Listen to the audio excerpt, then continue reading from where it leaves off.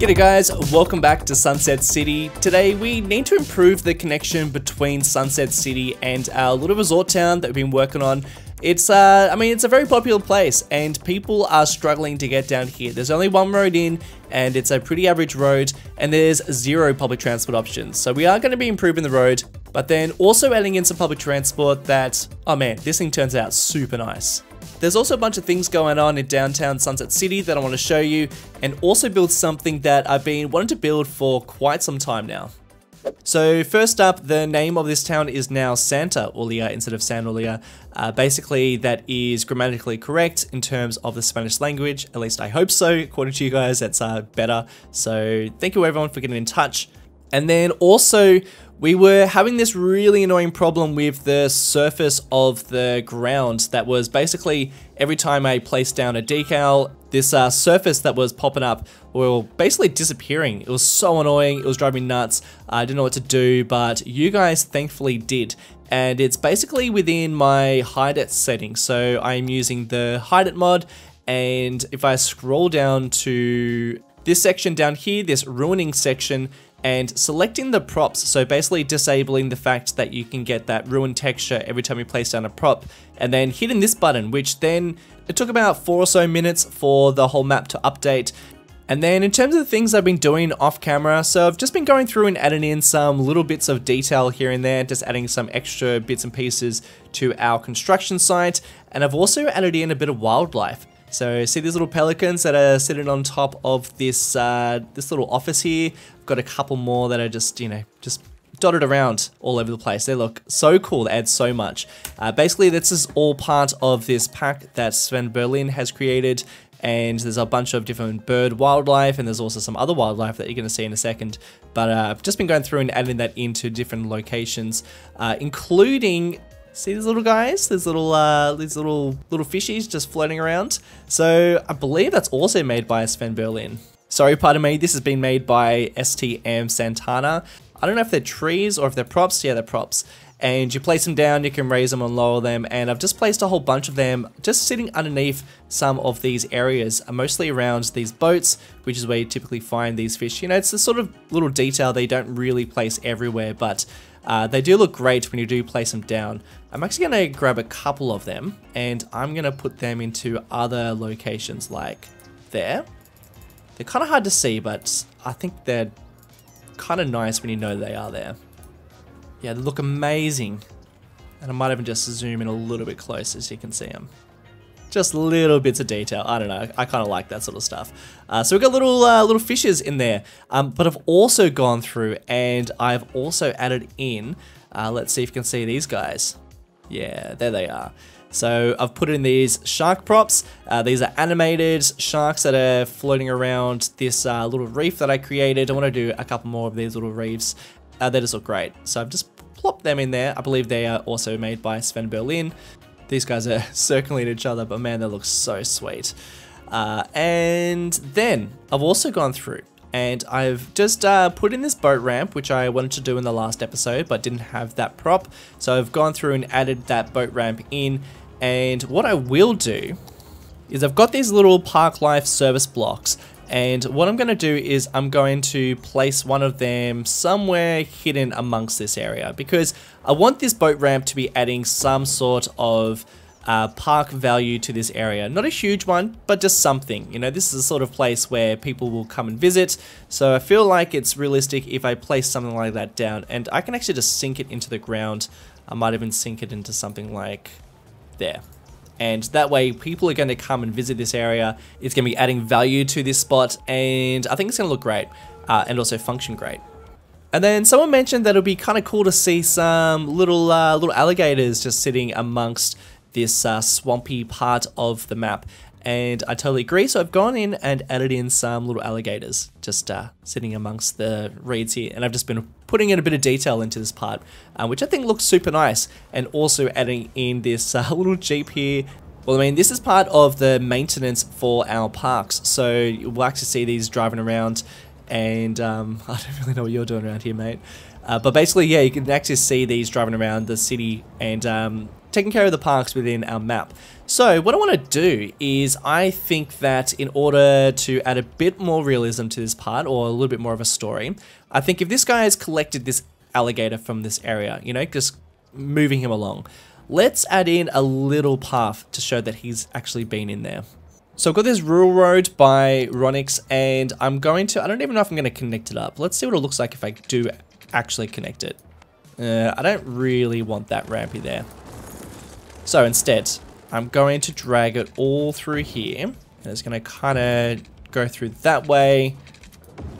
Oh, that's beautiful. Look at that intersection that it makes. Uh, then I'm going to drag it through parts where the reeds are not. So going through all this muddy area and then into this uh, into this real wet spot, you know? This little spot there. These uh, little spots here, they are also made by Ronyx. These are uh, decals and I've just placed them down and I've got these muddy decals too. So this looks pretty nice. See how it all kind of curves in? You can see where people have been driving around. Man, that adds so much and that looks super cool. And I hate to place it, but it just adds just that little bit of uh, realism, you know, just a bit of rubbish creeping into this uh, this swampy nature part. It's a bit of a shame, but I mean, you do see this. You see this right next to places like this. You see it definitely near industry. You know, people come in, they drag their, their crap in here and they drop it off and they, you know, they litter these parts. It's kind of what happens. So I feel like you need to place some of that around. And then because we've got this road, I'm not going to connect it up because it just adds that weird intersection. I mean, it's not a problem, but I just don't think we've got a proper intersection. With a road like this, this is definitely not the sort of road that you see the common man driving on. So I'm just going to drag a little, little bit closer to my network and then I'm going to drop it using move it and that way it's hidden into there. Might need to move some of those trees and I'm really questioning what's going on down here.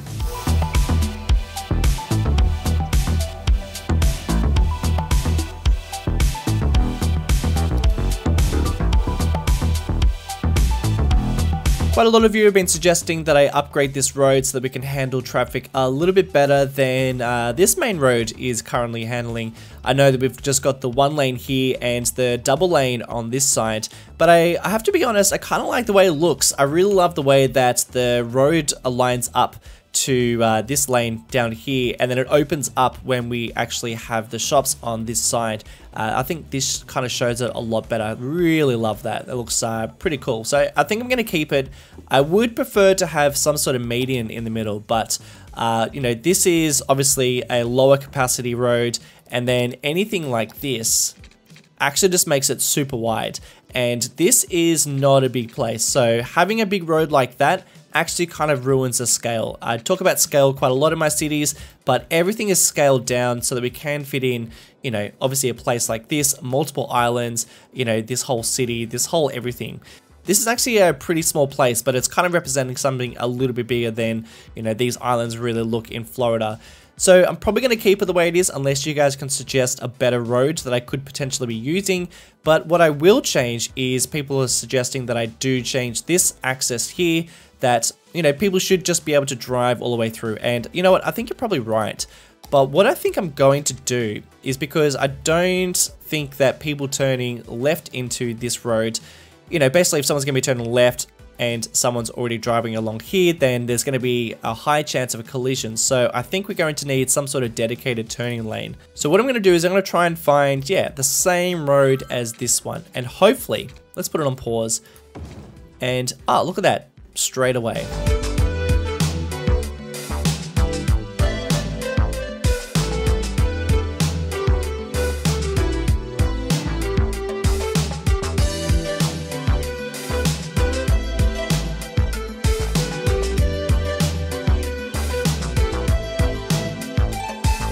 Okay, starting to get a little bit deep into this. Uh, node controller, uh, intersection marking tool, traffic president mod, and you know, I'm sort of like halfway through it. And I have to admit, you know, things are starting to look a lot better. Things are functioning a lot better. But I think I'm starting to lose a little bit of the charm of this place being a bit more remote, a bit more off the beaten track, and it's starting to look a little bit too nice, I think. So I'm gonna remove some things. I think the traffic lights work, but I was about to make a uh, you know little little spot in here, uh, make it all look super pretty and uh, you know well looked after. But I actually don't think we need that, so I'm gonna get rid of this filler and even some of these lines. I think they're they're too nice. I think I'll keep this line here because I think it is necessary, but what I'm going to do is I'm going to fade it a bit. Uh, because I don't want this place to be a super well looked after area. You know, this part of, uh, of Sunset City, of the whole map, is a bit more off the beaten track. It is a bit more wild, and intersections are just a little bit more, uh, you know, you gotta take a, take a bit more care. It's a bit more, it's you're not driving in the city anymore, you know? These guys are on holidays. Sometimes when you leave the city, things get a little bit, uh, a little bit more hectic. So, well, maybe more relaxed, not hectic. I think a couple of damage decals, and I'm gonna put one right there, which is, uh, I feel like one of those, you know, you kind of like leave the highway and then you hit this road and go like, you know, you know those little spots. I literally just finished a road trip and you hit areas and you go like, okay, we're not on the highway anymore. Using Move It, I'm to sink this into the ground a little bit using Page Down so that it's not so pronounced. You know, it's a bit rough around here, but it's not that rough. We'll do the same treatment with these ones. And then these are also excellent. Particularly on well-used roads, you know, this is a very well-used road, so we do need a little bit of this.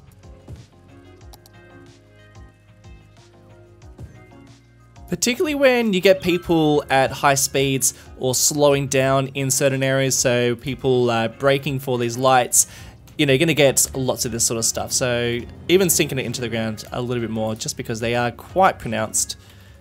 And that's pretty cool. There we go. I really like that. I love just seeing little bits like that, especially where you would imagine seeing a bit more wear and tear on the road. Uh, that is exactly where you'd see it. And then I love that, you know, as soon as you kind of pull into this area, yeah, we've got some really nice resorts around here, but you know, deep down, this area is a little bit more rough around the edges, and you're going to have little spots that are going to look like that. Now, there are still a lot of people traveling into Santa Julia, and they're only able to access it via this road connection. Uh, later down the track, though, we are going to add a train stop because people do want to see that, whether or not it stops here or whether it, uh, you know, stops at the other island up there then uh, that'll be access for them as well. But there is also going to be a bus network, which we'll do later on down the track. But for now, I'm going to be adding in something that a lot of people were suggesting as well, and that is a ferry service, which is going to operate from Santa Julia uh, heading into Sunset City. So it's going to be a pretty big journey. So let's work on that one. Now, as far as I can tell, and as far as people have told me, there isn't a ferry service in the Florida Keys. So we are taking a little bit of creative liberty here, which is totally fine. But I think I'm going to disguise my ferry service as a whale watching service uh, you know, a bit of a tourist trip into these areas, even though probably whales don't really make their way into these areas. Uh, maybe it's more for dolphin watching or some sort of tourist trip.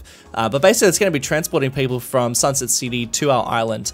And I think we're going to place it into here because I would like there to be some ports and some uh, wharves in this area. So this is going to be the very first one. And I reckon we just start dragging out a couple of these roads and seeing what sort of things we can make.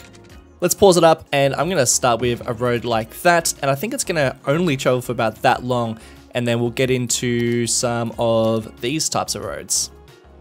Things to be easier to keep it on pause, drag out a couple of networks and then we can unpause it when uh, we're ready for the Great Flood to begin.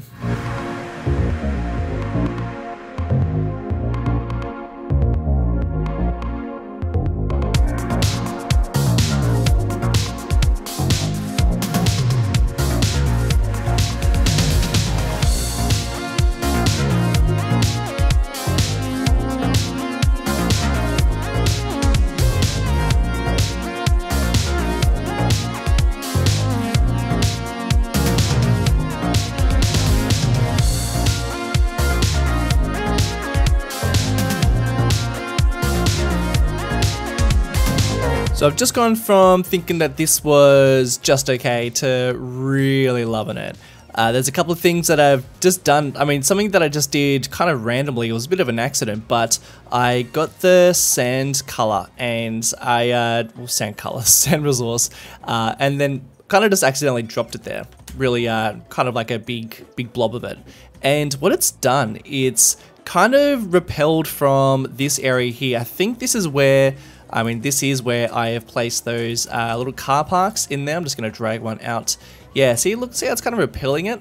Well, it kind of means that when we do have cars here, uh, and even not having cars there, you can see where the sand is more of a dirt because of people being parking there, which is kind of cool. And so you get this uh, really interesting texture through uh, these cracks between the network and between the decals and then be between where the actual ruined texture is coming through because of these buildings or these car parks. So that's kind of a bit of an accident, but it worked really well.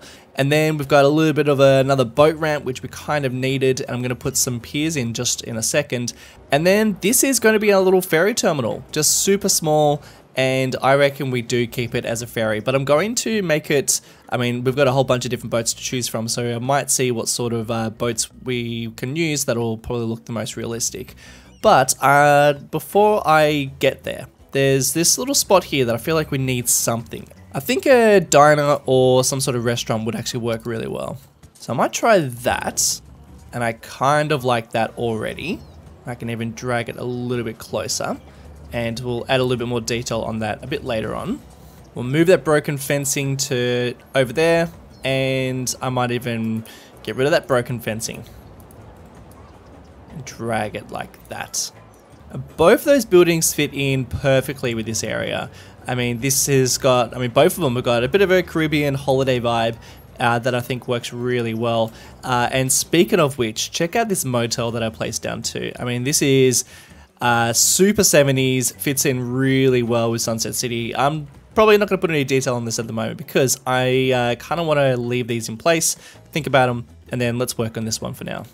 Now we do have a bit of surface popping through, so I'm going to just hide some of that using some, uh, just some trees. I'm going to put down some more palm trees that are just going to act as the edge for this area, uh, kind of like that. And I'm going to do the same for these ones and then some of these bushes can cover up that.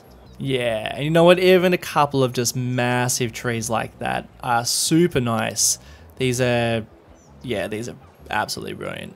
We've got some weed clusters. Let's see if I get nice and close. I might even put some between some of those cracks. And then just a little tip, but grass makes, not that one. Grass makes really good seaweed uh, just poking through just a little bit. You know, you can just see it under the water. I love that, especially when it's mixed in with a bit of the sand color that's coming through as well. I'm gonna just pop it in just in little spots, just here and there. Just little pockets. Geez, that's starting to look pretty nice. And no one's using our car park at the moment, but I reckon we're to start seeing people parking all over the place when we start connecting this up. So, let's actually connect up our ferry service. Now, I would really like it to follow this whole, uh, you know, this whole waterway. I want it to be a bit of a scenic route. I think the clearance under that bridge is a little low. So that's fine, because I don't really want to go underneath that one anyway. I'm going to use the bend to create uh, nice sweeping movements for the ferry, but I do want to be quite direct. I don't want to do like you know, kind of movements like that because ferries are going to try and take the shortest route, uh, even though we are kind of bypassing that. Uh, so they're going to go through this way, and then we've left a bit of a clearing here so that boats can actually travel underneath. Uh, we do have a power pole in the way, so I will remove that. But I will find the largest spot, and I'm going to travel through. And then we'll go like that, and then I'm going to move this pole. And I'm even going to raise it up in this part. And I know some people would like to get rid of this completely, this uh, this power line, but I'm gonna be honest, I really like it. I mean, I don't like seeing that when I'm on a road trip or traveling or even seeing power lines. I think they look super ugly, but I kind of like creating that, uh, you know, that contrast between this beautiful area. We've got these like, you know, waterways, this uh, crystal clear water, these, you know, beautiful islands. And then we've got this kind of ugly power line. It I don't know, I find that sort of stuff interesting. Now, I've actually got a bit of a channel going through here. You can actually see a bit of the waterways that I'm going to follow. So it is kind of do these big windy movements, but I'm following the kind of the uh, the deepest parts. Not that the ferries really need it, but I'm going to be following that pattern anyway. I need to improve that bridge a bit more, so I'm just going to go through there for the time being, and then there is in fact a ferry line right there. Uh, and I've got a couple of things to show you over there in just a sec, but let's uh, let's actually connect it up.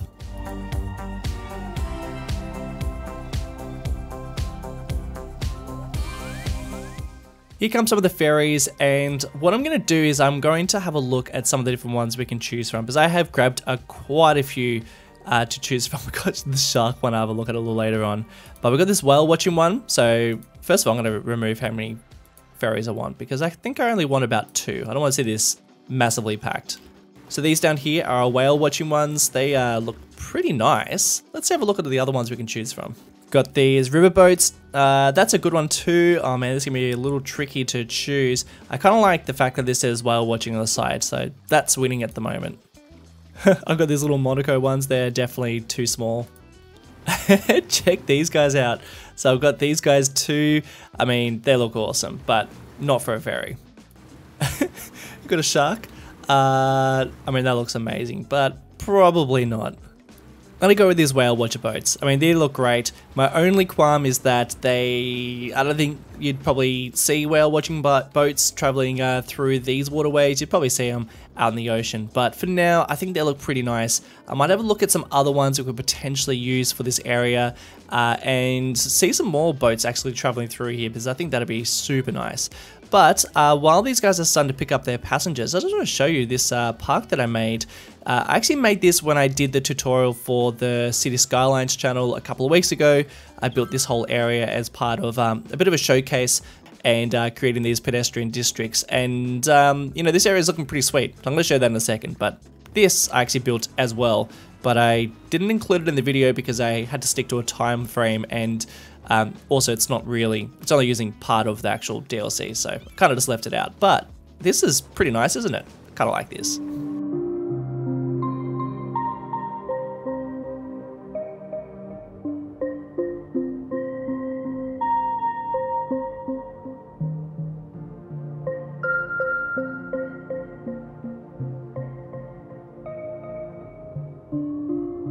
getting any people using this space and I was a little bit worried. And then I realized that I had the pedestrian crosswalks uh, disabled for these roads, which meant that people weren't even, weren't even able to access this area. So as soon as I enabled that, using Traffic President, then I was able to get people using this space, uh, like just like that. So super happy with that. Uh, I've disabled this one. Actually, you know what? I should probably enable it just because people need to come to uh, this motel and they are enabled and we'll work on that a little later on. But, I mean, man, this place is becoming very bustling, which is fantastic because it's actually taken a little bit of pressure off our roads, which is excellent uh, because as you can see, it's very busy down here regardless and it's only going to get better when we add in those other bits and bits of public transport. But I mean, it's starting to really fill out around here. We're getting some awesome, awesome action. Uh, lots of people walking around. People even using this boat ramp too. I've hidden a little service block in there. And you can also see that we are getting some boats popping up and uh, they are going around and cruising around our channels. I've actually got a line all the way through here. You can see some boats just uh, just going around. And it's looking super nice. But for now, I mean, this area is looking super pretty. I'm really, really happy with that. And I'm glad to see some people finally starting to use it. Uh, actually, a fun little thing, you might have noticed that uh, for some reason the ferry terminal is a little bit wonky. So I had to like make it wonky just so that the people can actually fit on there properly because before they're in the water. And it's meant that our uh, little ramp that goes onto it is a bit wonky too. So it's got this real wonkiness to it. but it's kind of cool, I don't mind it. But with that, Santa Julia is pretty much done. There are little bits and pieces that I want to work on every now and again, but you know, for the most part, I think it's, uh, I'm really liking what it's looking like. Uh, I'm going to put it to you guys and we'll start embedding some of these things. I feel like this resort uh, needs a name, and I feel like there is a backstory to this place. Uh, there's some really nice little pockets of areas that I love about this spot, uh, particularly this little entrance that we created in the last episode. But I just feel like there's a there's a story behind this place. I feel like someone owns it, and I think there's something that goes on here. You know, something something interesting, a little backstory. So if you want to add something to this, uh, please pop it down in the comment section below. And uh, you know, I'm kind of accumulating some names and suggestions and some stories, uh, and I'm to surprise you with some of those things a little bit later on. So it is time to leave Santa Julia. We're going to head back into Sunset City. It's been a while since we've worked over here. I've actually been doing some bits and pieces off camera and doing some things um, as part of, you know, that tutorial that I showcase on the Cities Skylines channel. And you know what, let's just have a little fly around because it does look super nice down here. And there's some things I want to show you, uh, you know, and just talk about. Kind of just, can we just appreciate the bit of public transport we've got going on. You know, this uh, monorail, this metro mover that flies on top of here. And then we've also got these uh, ferries that connect up, which um, are surprisingly super useful. Ferries aren't that useful in Cities Skylines, but this one seems to be crazy useful. I mean, a lot of people are using it. Uh, I guess a handful of people are using it. A handful of grannies are using it. But something that I didn't really showcase within that video that I did on the Cities Skylines channel, by the way, you should go and check it out if you haven't seen it, but I have gone through and uh, used procedural objects on these pillars so that they're in better spaces, you know, so we've got this um, big gap between our uh, ocean, our ocean, our river here so that boats can actually pass through, and I've gone through and just extended it. You can see the difference in, let's have a look. So, I mean, if you look at this one, how nice and long it is, and then if you look at ones like this that I haven't done that on, you can see like this big base, which looks pretty ugly. Something else that I've been working on that I didn't really talk about in the tutorial was that I have been just changing the skyline quite a lot off camera and just trying to work on how it looks. Just because we had far too many buildings before, we actually had a fairly tall one here and a fairly big one there, and even a couple of other ones that were scattered around, and I just felt like it was getting too crowded, uh, too busy, and too tall as well. And what I really don't want is the skyline kind of getting muddled up and I still think it is a little bit muddled. It's uh, definitely a lot better. Uh, there's some buildings that I think are permanent permanent buildings. Uh, this one I do want to be the largest. This one I like. This one I like. And this one I like. But the rest are kind of temporary. I guess this one's alright. Uh, but yeah, I mean, it's really, really tricky because there are such nice buildings on the Steam Workshop, but I can't use them just because they are so large in comparison to the rest of the skyline and the rest of the city, because it's actually not that big of a city. Well, kind of is, but it's also kind of not. So I'm going to try to be careful with the types of buildings that I choose. I want this to be the tallest one, and I want it to really feel like the tallest one, which is why I'm probably not going to go much taller than this guy here. But I'm still working on it, still trying to choose the right buildings. There's a bunch that are going to disappear.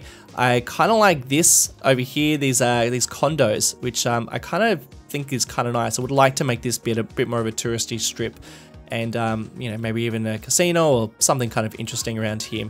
But yeah, it's kind of changing. A lot of stuff is, um, you know, being updated and changed kind of off camera. And then, not to mention, you know, we're trying to build something based in the 80s, and the 80s, uh, you know, Miami in the 80s didn't really have a tall skyline. You know, kind of on the same note of that, you know, because we built this whole uh, walkway here, this whole pedestrian plaza, uh, you know, spaces like this, they weren't hugely common within the 80s. So I kind of like that this is just in this space, but I don't want to, I don't, you know, I was almost about to continue it along here and continue it down to here. No, I think that this is just an isolated space.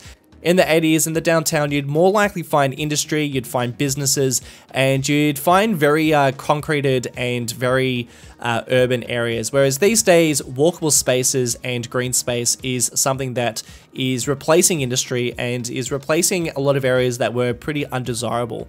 So, in that note, with that note, this space here, I kind of think needs to be uh, either something to do with industry or something to do with construction and it's uh, you know this whole space over here I'm thinking is going to be a pretty industrial space uh, just because this area is already full of offices and condos and stuff like that. I kind of want to try and do something a bit different. Plus this interchange is really kind of you know it, screams industry you know? I feel like it's going to go over some kind of shady spaces. Uh, so yeah, what I'm trying to say is I kind of think we need to do some sort of construction site to kind of show that this space is that uh, kind of next project in Sunset City. So what I'm going to do is I'm going to scroll through my different assets that I have in Find It. Um, I'm actually just going to type in construction and I'm going to go to this space over here and I'm going to place down pretty much everything I have in terms of construction.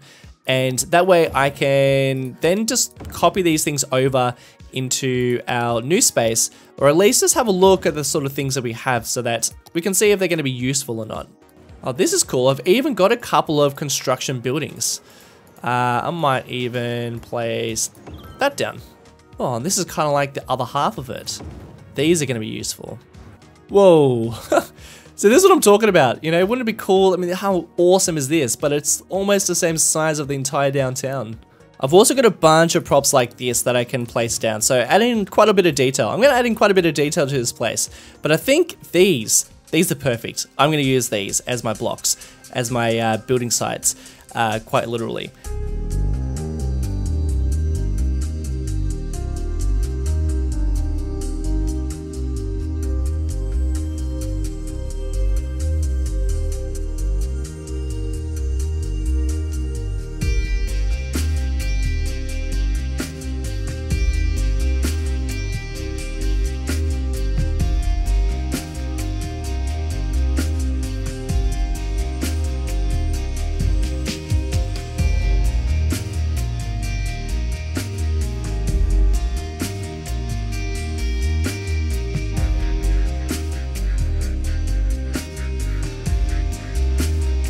Just to highlight Sven Berlin one more time, this is an awesome animated crane by him.